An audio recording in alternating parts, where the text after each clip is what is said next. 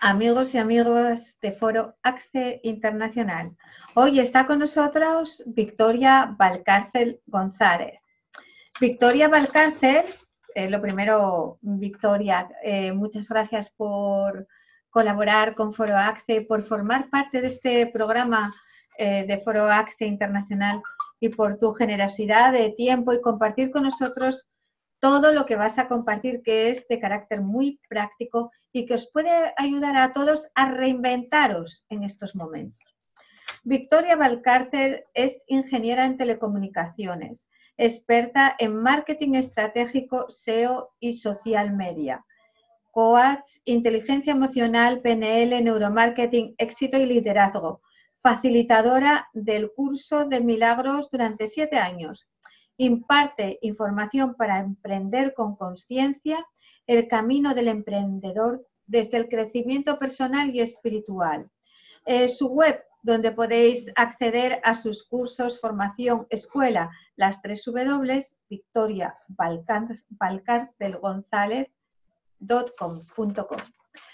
Muchas gracias, Victoria, por estar hoy con nosotros. Lo primero, ¿cómo estás viviendo estos momentos COVID? ¿Qué tal lo llevas? Pues Ana, muchísimas gracias a vosotros por contar conmigo. Eh, la verdad que tengo que daros las gracias por el trabajo que estáis haciendo, que no es poco, hacer entrevistas, editar vídeos, eh, poneros en contacto con nosotros, agendarnos. Eh, muchísimas gracias, muchísimas gracias por todo lo que hacéis y, y nada. Pues cómo estoy viviendo esta situación. La verdad que pensaba que iba a tener tiempo para poder hacer muchos planes, muchas cosas, muchos proyectos, siempre tengo en la cabeza muchas cosas. Pero resulta que, bueno, al dedicarse mi empresa o mi labor al mundo online, no solo no he tenido tiempo, sino que me ha faltado tiempo. Eh, eso también me hace reflexionar mucho, ¿no? Sobre, oye, ¿por qué unas empresas sí van bien y otras empresas no han ido tan bien, ¿no? Ahora vamos a tratar este tema. Y bueno, prácticamente llevo, parece que es como mi mantra, llevo 50 días sin parar, eh, pero porque quiero. También es verdad que porque quiero, porque me gusta, porque siempre he sido muy activa y si no estaría haciendo, si no estuviera haciendo esto, estaría haciendo otra cosa. Yo no puedo parar, ¿no? Entonces, bueno, lo he llevado muy bien. Me ha dado la oportunidad de hablar con muchas personas, de ver cómo lo estaba viviendo cada uno de ellos y las situaciones. Y, bueno, pues al principio quizás ha sido, ha sido un poco, ¿cómo se nota que estamos en casa? Sí, todos estamos con la oficina. Todos estamos... pues al principio yo que nadie nos mire de cintura para abajo. O sea, lo que ves, hay otras cosas que no ves. Pero a mí me encanta esa magia porque está como nuestra parte física, ¿no? Y luego está como nuestra parte de estar en casa, ¿no? Nuestra parte de, conectarnos con, lo, con lo importante. Nos ha dado la oportunidad de estar todos en casa. Y si estamos vista atrás, pues este año era el 2020, que 20 más 20 son 40, la cuarentena, que hace 100 años hubo otra cuarentena, otra otra situación similar, pero es que hace 200 años también la hubo y hace 400 años también la hubo, siempre coincide con el terminación 20. Entonces, sí que nos tiene que dar la información a todos los seres humanos de que la vida se repite, de que estamos cíclicos y que si no aprendemos de la experiencia vamos a estar repitiendo y repitiendo y repitiendo y repitiendo siempre las mismas cosas y Victoria, ¿qué es lo que has aprendido tú en concreto? ¿En qué te ha ayudado a mejorar? A nivel profesional también, a nivel espiritual y profesional, esta experiencia. ¿Cómo te ha ayudado a ti, Victoria, en los dos niveles? Pues, mira, a nivel personal mm, me ha hecho tomar muchas decisiones de cosas que eran innecesarias. Yo, por ejemplo, pues tenía un centro porque tenía el capricho de tener una academia y era más por un capricho porque yo empecé online. Entonces, esto para mí ha sido como retomar lo que ya había iniciado. Em, era el capricho de querer tener una academia, de abrir mi puerta, de salir a trabajar. Y me ha ayudado a prescindir de cosas innecesarias y a volcarme en cosas importantes. Em, me ha ayudado también a poder ver que efectivamente lo que ya venía viendo durante mucho tiempo, porque eh, hace siete años yo estuve en una conferencia en la que se hablaba eh, por aquel entonces de que se iba a digitalizar todo y se iba a, a, a, robotizar todo, ¿vale? Con domótica. Eh, y que iban a desaparecer muchos empleos, porque efectivamente hay muchos empleos que los puede hacer una máquina que no es necesario que los haga una persona. Y que iba el ser humano a tener que reinventarse. Entonces a mí en aquel momento ya me dio, bueno, pues por pararme y pensar. Digo, bueno, esta revolución, esta nueva era que viene, eh, ¿para qué viene y, y, qué podemos sacar de ello? ¿no? Siempre el para qué. Me di cuenta de que efectivamente, aunque iban a desaparecer muchos empleos, también iban a aparecer nuevos empleos, con lo cual estaba en el ser humano volver otra vez a reinventarse que había cosas pues que nos quitaban la libertad. Me parece que ahora nos han parado, nos han quitado la libertad a la fuerza para que nosotros tomemos conciencia de la libertad de viajar, de tener tiempo, de poder ir a visitar a los amigos, de todas las cosas que no hemos podido hacer. Entonces, empecé a pensar que quería dedicar mi vida a ser nómada digital y ayudar a los demás a ser nómada digital, a que cada persona pudiese hacer lo que más le gusta hacer pero a través de un ordenador. Nuestra oficina es un ordenador. Y si me apuran, ni siquiera yo tengo todo el contenido en mi ordenador. Eh, lo tengo todo en la, nube. ¿Por qué? Porque el ordenador se me puede romper o me puedo ir a Barcelona a hacer un curso y no me cabe el ordenador en la maleta y lo tengo todo en la nube. Allí con cualquier otro ordenador puedo acceder a todo mi contenido y seguir trabajando. Entonces, empecé a pensar, digo, es cierto que el agricultor antes, eh, y esto ya lo hemos hablado, que fue lo que a mí me hizo pensar, ¿no? Digo, el agricultor antes, pues se levantaba a las 6 de la mañana, cogía su eh, hoz y empezaba a labrar la tierra. Pero luego, pues empezaron a aparecer tractores, em, drones para em, facilitarle la vida, ¿no? Empacadoras, todo la cantidad de máquinas que ahora se necesita para la agricultura. Pero es cierto que ese agricultor ya por la mañana no tiene que levantarse y, estar trabajando a fuerza dura, ¿no? Ahora ya prácticamente los agricultores más grandes son empresarios, están pensando más en cómo vender Bueno, en esto me gustaría matizar que algunas explotaciones orgánicas usan también tecnología moderna como esta de la que nos está hablando Victoria, eh, que no solamente esta tecnología la utiliza, digamos, la agricultura convencional que utiliza químicos, sino que hoy en día también agricultores orgánicos están utilizando nuevas tecnologías con respeto en respeto al medio ambiente y la naturaleza que es lo que promovemos aquí desde correcto, Correcto, y además estoy totalmente de acuerdo porque lo que comes es lo que eres. Y hay que tener conciencia, mucha conciencia con lo que comemos, mucha. Pero eh, eh, eh, efectivamente hay una serie de evolución o una serie de avances que han mejorado la vida de muchos sectores y que pueden seguir mejorándolo yo creo que el ser humano mm, tiene que viajar más, disfrutar más, eh, tener más contacto con la naturaleza. Y estábamos entrando en una situación en la cual eh, no teníamos tiempo, estábamos distraídos. Ahora. Entonces, perdona que te interrumpa, Victoria, porque ya sabes que tenemos un tiempo ajustado.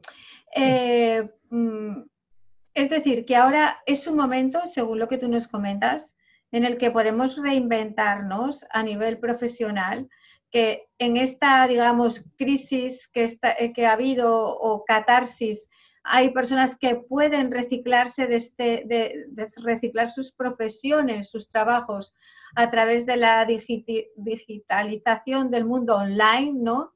Y que esa es la propuesta en la que tú, que tú nos haces y, a la que estás dedicada dando formación desde hace mucho tiempo ya.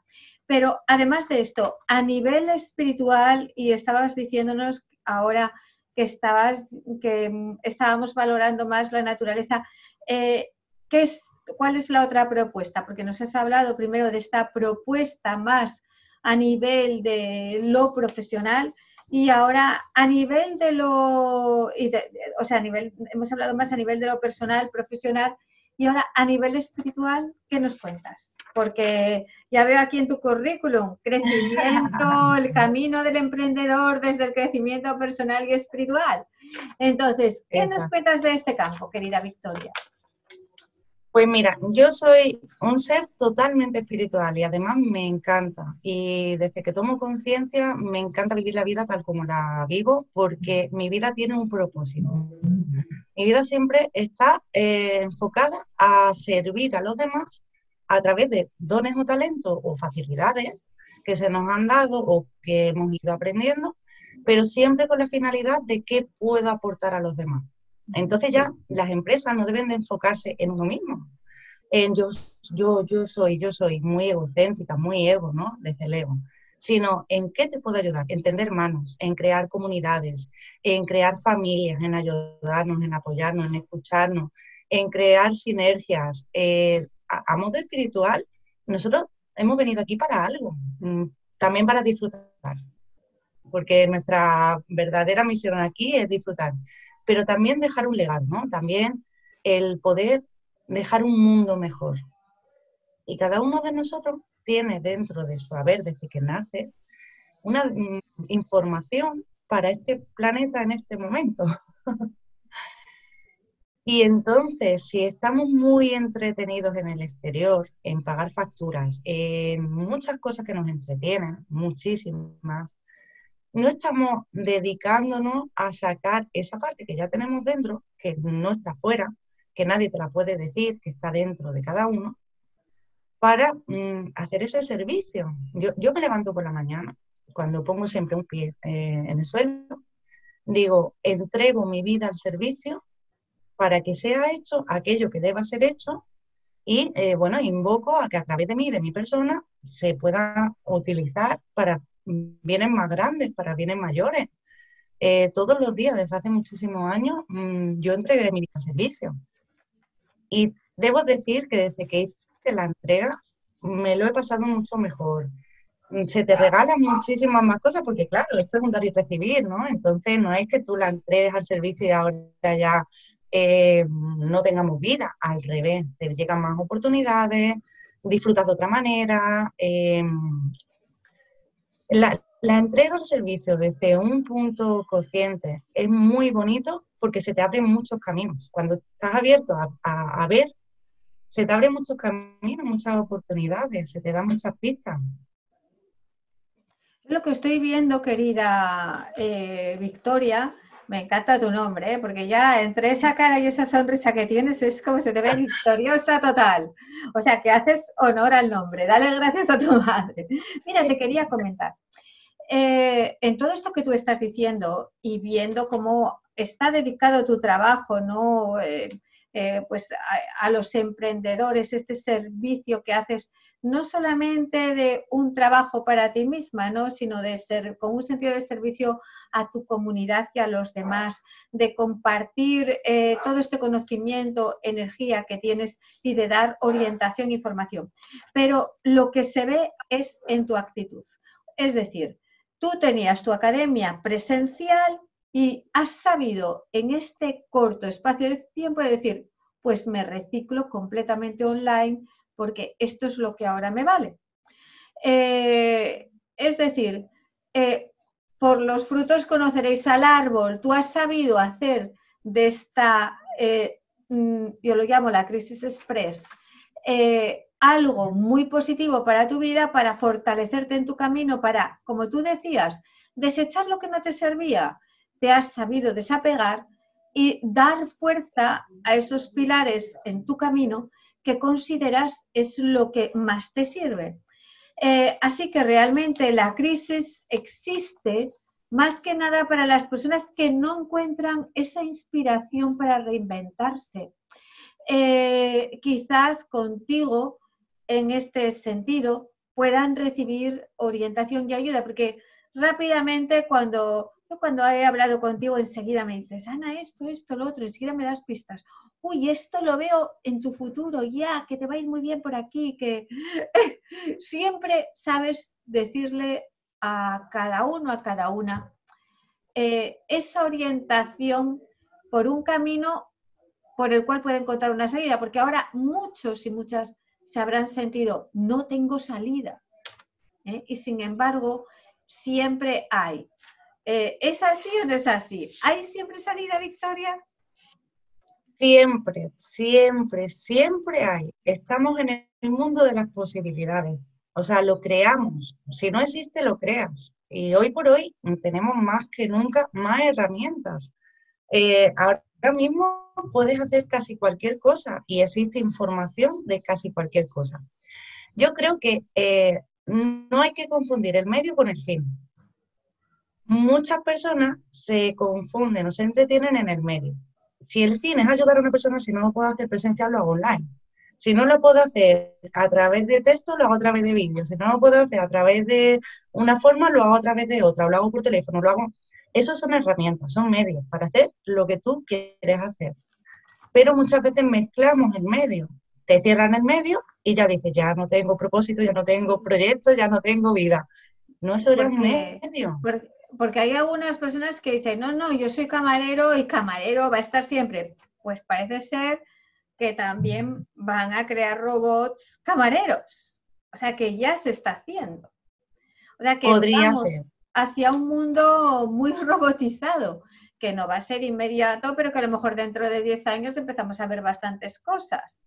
Pero eso no es malo, no quiere decir, ¿verdad?, que vaya a ser un mundo terrorífico y todo el mundo en paro, no, a lo mejor quiere decir que te van a dar un sueldo, aunque en casa, y que va a haber más cobertura social y que vas a poder dedicarte a una vida más creativa. No lo sabemos. ¿Tú cómo ves este futuro eh, tecnológico, robotizado, como una nueva sociedad en, este sentido? ¿Va a ser posible que, se, tenga valores además de tecnología, eh, que pueda ser una sociedad con alma? ¿Tú qué opinas? Siempre, siempre. Eh, mira, si un, si una máquina te puede sustituir, entonces que tú no estabas haciendo lo que tenías que hacer. Si una máquina te puede sustituir, una máquina que no tiene alma, que no tiene corazón, que no tiene pasión, que no tiene emoción, es que no era lo que tú tenías que hacer. Entonces, eh, si ese camarero lo que le gustaba era hablar con las personas, pues a lo mejor estaba en una actividad equivocada, porque tenía dones para hacer otras cosas de otra manera. Yo pienso que, mm, las máquinas, la tecnología, Internet, eh, todo esto son herramientas, pero que el ser humano, y además digo, el ser humano no es el animal racional, lo que tiene es conciencia, alma. Somos los almados. De hecho, mm, mm, cuando hablamos muchas veces de conspiraciones, otro tema que me encanta, yo digo que son los armados contra los almados. y me encanta esa expresión porque yo digo, es que nadie puede sustituir tu alma, nadie puede sustituir tu ser. Eso que nosotros mm, llegamos a un sitio y sabemos que podemos hacer, esa nadie lo puede sustituir. Simplemente nos tenemos que reinventar y tenemos que aprovechar los medios y aprovechar pues toda la tecnología, pero para crecimiento personal. Es como si nos estancásemos, como si eh, cuando apareció, eh, por ejemplo, la electricidad, nos hubiésemos negado la electricidad. O cuando apareció el coche, eh, hubiésemos decidido seguir yendo con, los animales, ¿no? A coche a caballo. ¿no? al final, cada cosa nueva que viene, el fuego, internet, el motor, la electricidad, cada cosa nueva que viene viene para evolucionar al ser humano. Y hay que tomarla así, si está es por algo. Y hoy por hoy, bueno, la ventaja principal que tenemos es que podemos hablar con cualquier persona desde cualquier parte del mundo. Y eso es una ventaja. Y que hoy por hoy está toda la información, a quien quiera buscar existe, toda la información y cada vez estamos en la etapa de, de que salga más información, está saliendo mucha información que era muy necesaria para nuestro crecimiento. Esa información está al alcance de todo el mundo.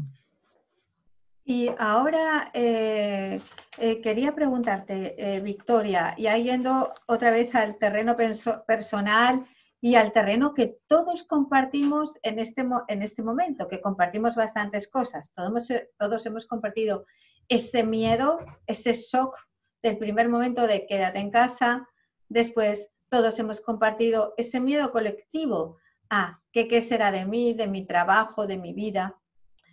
Y todos hemos compartido también a nivel colectivo y a nivel de la comunidad ese confinamiento. ¿Cómo lo habéis llevado vosotros en la familia? ¿Qué tal lo han llevado, eh, pues eso, vuestros niños? ¿Cómo, ¿Cómo, lo...? Porque aquí esta es otra. Eh, los jóvenes, ¿tú qué opinas? ¿Cómo lo han llevado los jovencitos, los niños, esta situación? Porque los adultos, ya ves lo que... el revolvimiento que hemos tenido, ¿no? De todo tipo. ¿Cómo lo han llamado nuestros niños y jóvenes? ¿Tú cómo lo, cómo lo ves? Es que los niños han nacido en esta era. Los niños no son de la era pasada, son de esta era. Entonces los niños vienen más creativos, con más inspiración, eh, saben hacer uso de las herramientas. El niño no se aburre, el niño eh, somos nosotros los que tenemos muchas veces, y además nuestra generación es la generación que le llaman la generación perdida porque no hemos sufrido ninguna guerra ni ninguna situación muy negativa que nos haya hecho tomar conciencia. Quizás esta sea la primera para muchos. El, niño viene mm, inocente, viene sabio ya por naturaleza, va a coger un ordenador y va a ponerse a inventar cosas, a estudiar, va a coger una PlayStation, va a coger cualquier cosa, el niño no, no se aburre. Y además también le va a dar tiempo a reflexionar, ¿no? Porque los niños ahora están, meditan más de forma natural. ¿Tú qué has visto? ¿Has visto algún cambio en este periodo en, tus, en, en vuestros niños? Pues mira, em, yo no tengo niños. Eh, tuve dos abortos, quiero ser mami, pero todavía no lo soy. Pero mi pareja sí que tiene dos, con lo cual. pero bueno, eh, por eso digo vuestros niños, no, y tus hijos, Victoria. Por eso digo vuestros niños y no tus hijos.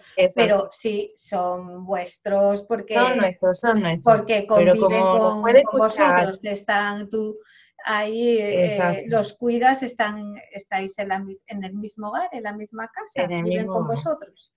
Entonces, vuestros niños, pues cuéntanos.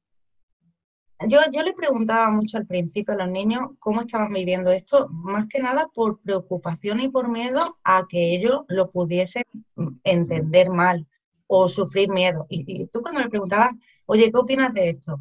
Y se quedaban muy tranquilos, sabían que esto iba a pasar, en ningún momento han tenido miedo. Hemos tenido miedo los adultos, pero ellos en ningún momento han tenido miedo.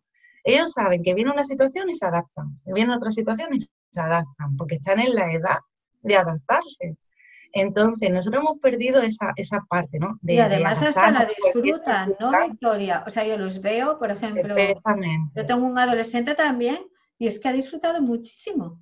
O sea, no ha tenido ningún problema con nada. Lo primero que le dijimos es, eh, ¿qué curso queréis hacer? Que os compramos lo que queráis, de diseño gráfico, de lo que queráis. Y ellos empezaron ahí, oye, pues han aprendido otras cosas. Y yo les decía, ¿queréis leer? ¿Qué queréis hacer? Y prácticamente mm, no se han aburrido absolutamente nada. Mm, con una energía además buena, una energía que, mm, que, quizás nosotros estamos más preocupados por ellos que ellos mismos. Ellos lo ven todo natural.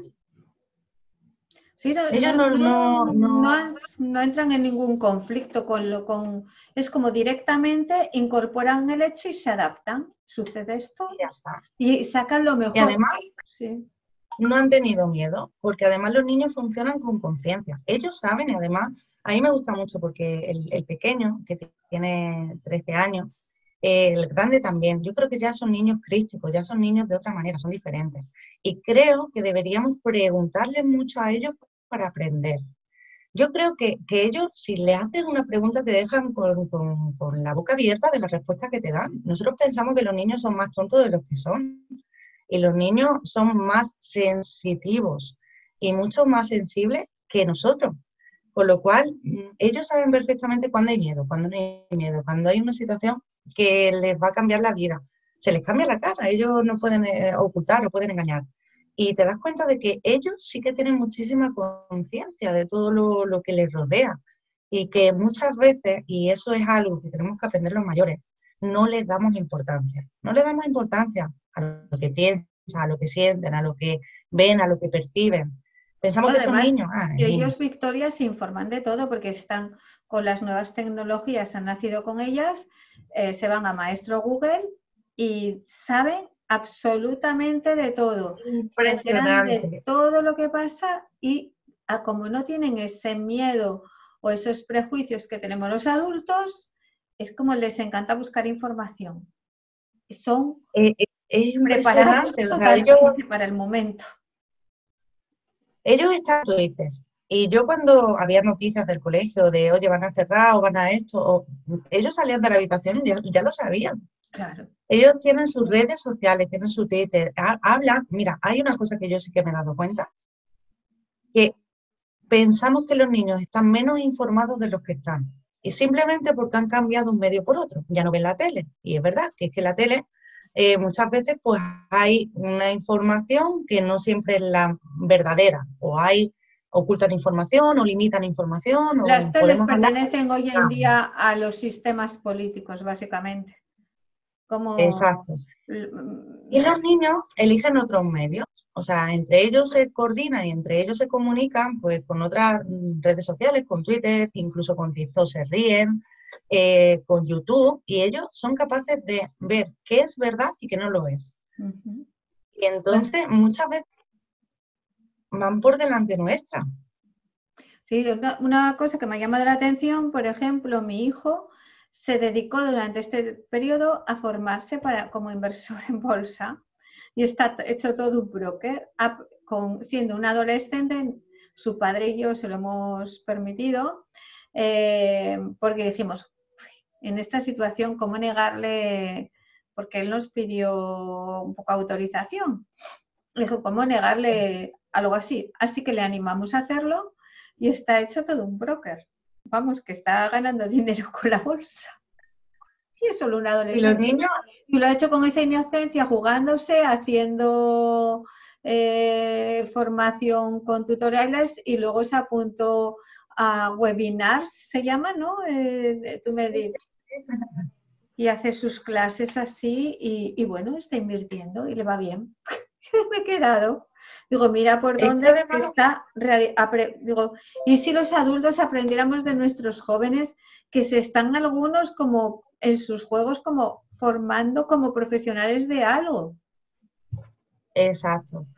Eh, a un niño tiene una duda, tiene un problema, se va a YouTube y lo busca y encuentra el tutorial de... A un mayor, oye, pues todavía no tenemos esa mm, independencia de buscar las cosas. Necesitamos que alguien venga y nos lo explique. El niño, mm, tú le das 10 minutos y te viene con la respuesta. Están acostumbrados.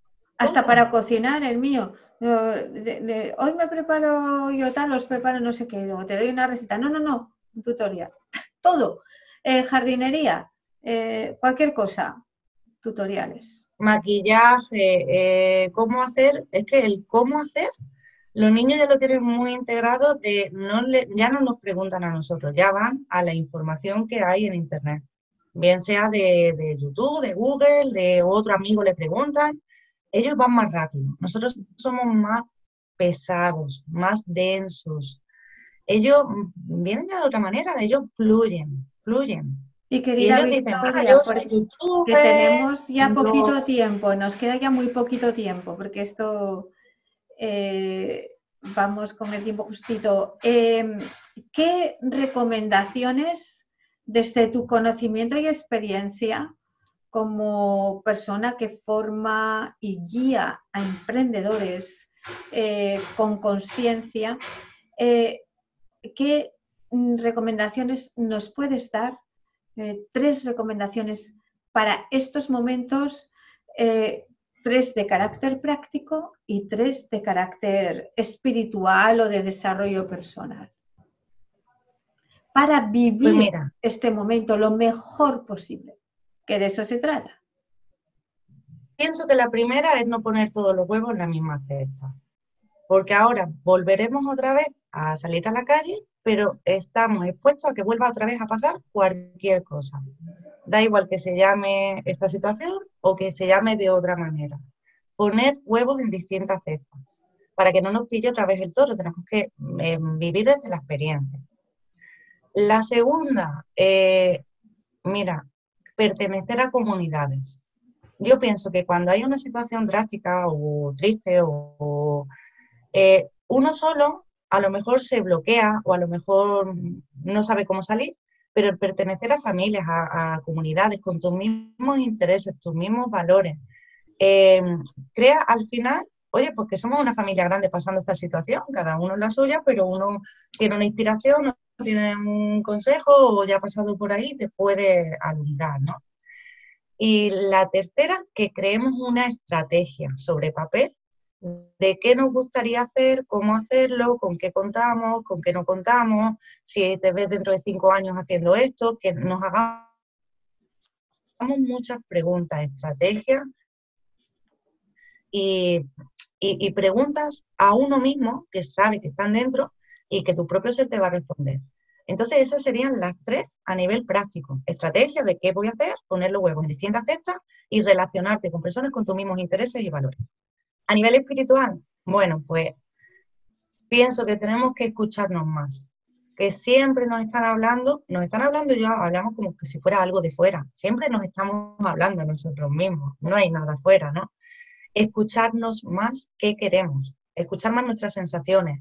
Si algo nos molesta, nosotros mm, tenemos ese chispazo de que sabemos dentro de nosotros que nos está molestando y si algo nos alegra, también lo sabemos. Entonces, escucharnos, comprendernos y conocernos mucho mejor. Disfrutar sería el segundo. Hemos venido aquí, la vida es muy corta, eh, hemos venido aquí a disfrutar. Tenemos todo a nuestro alcance y no hacemos uso del disfrute. Y somos niños, mm, pequeños y grandes, que tenemos que disfrutar. Vivir la vida, vivir las mayúsculas. Mm, que no pasen los días uno igual que otro, que disfrutemos de todo lo que se nos ocurra, que disfrutemos. Y la tercera, ¿qué diría? Pues que estemos abiertos al cambio, que vamos a entrar en una década o dos donde van a suceder muchas cosas porque estamos en un cambio de era y que estemos muy abiertos al cambio, desapego y no a la resistencia. Nos amoldemos a lo que venga. Y si es ver monos amarillos, pues será ver monos amarillos. Y si es ver duendes azules, pues será ver duendes azules.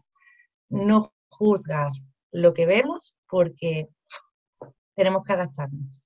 Bueno, entrevistando ayer a otra de las ponentes de este foro Acce Internacional, eh, Alejandra de eh, no recuerdo en este momento el apellido, es italiano, Daniela, o no me acuerdo, perdón.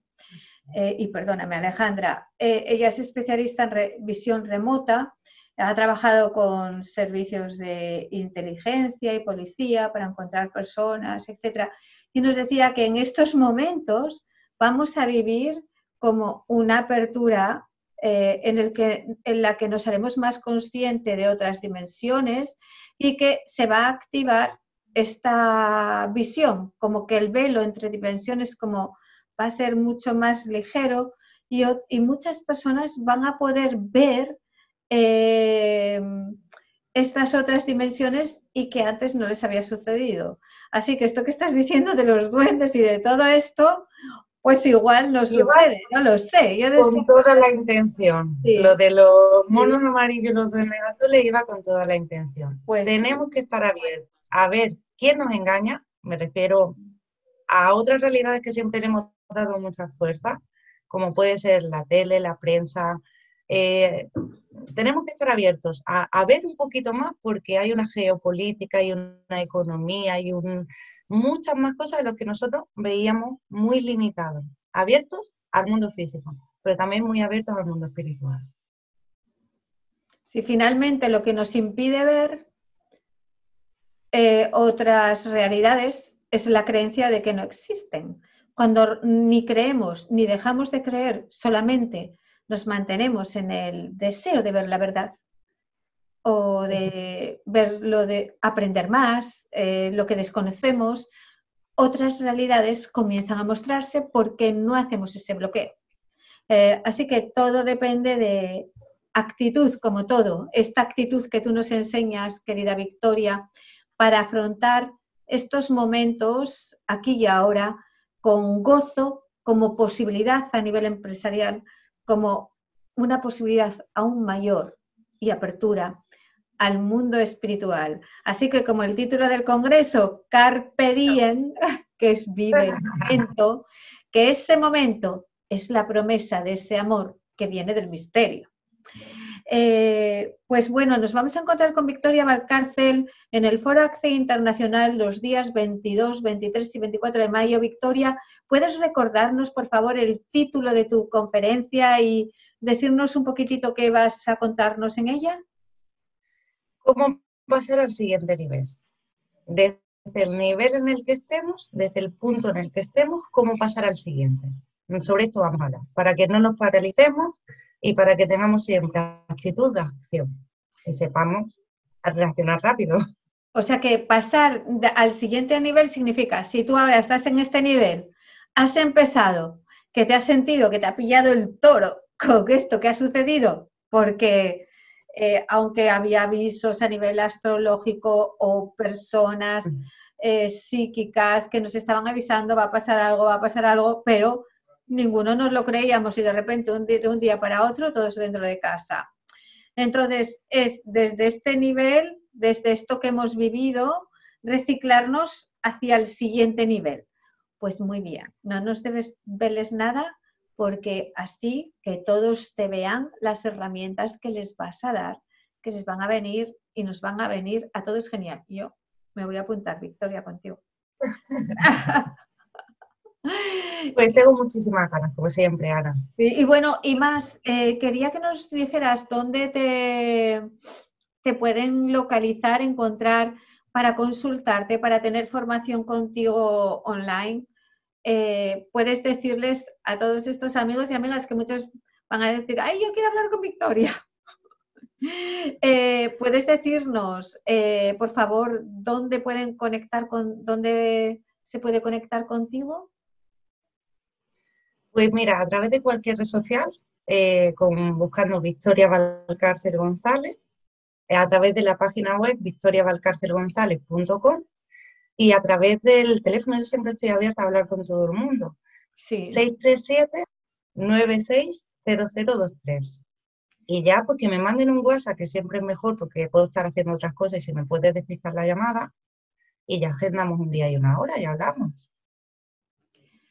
Bueno, muchísimas gracias, querida Victoria, por tu tiempo, por tu paciencia, por tu dedicación, porque os puedo decir que a nosotros, a Foro Victoria es una colaboradora, ponente maravillosa, pero colaboradora también que siempre está ahí para echarnos una mano con su conocimiento y estrategia.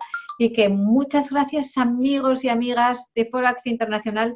Recordad, 22, 23 y 24 de mayo, es decir, dentro de dos días. Eh, puedes acceder al Foro Acce Internacional gratuito online simplemente registrándote en la web www.foroace.com y en, suscribiéndote al canal de YouTube Foro Ace TV. Hasta pronto, amigos y amigas, y muchísimas gracias, Victoria. ¿Quieres despedirte, decir algo? Muchas gracias, Ana Bar, por todo lo que estáis haciendo y, nada, que Foro Hace siempre tiene una energía especial y que lo va a seguir teniendo. Gracias.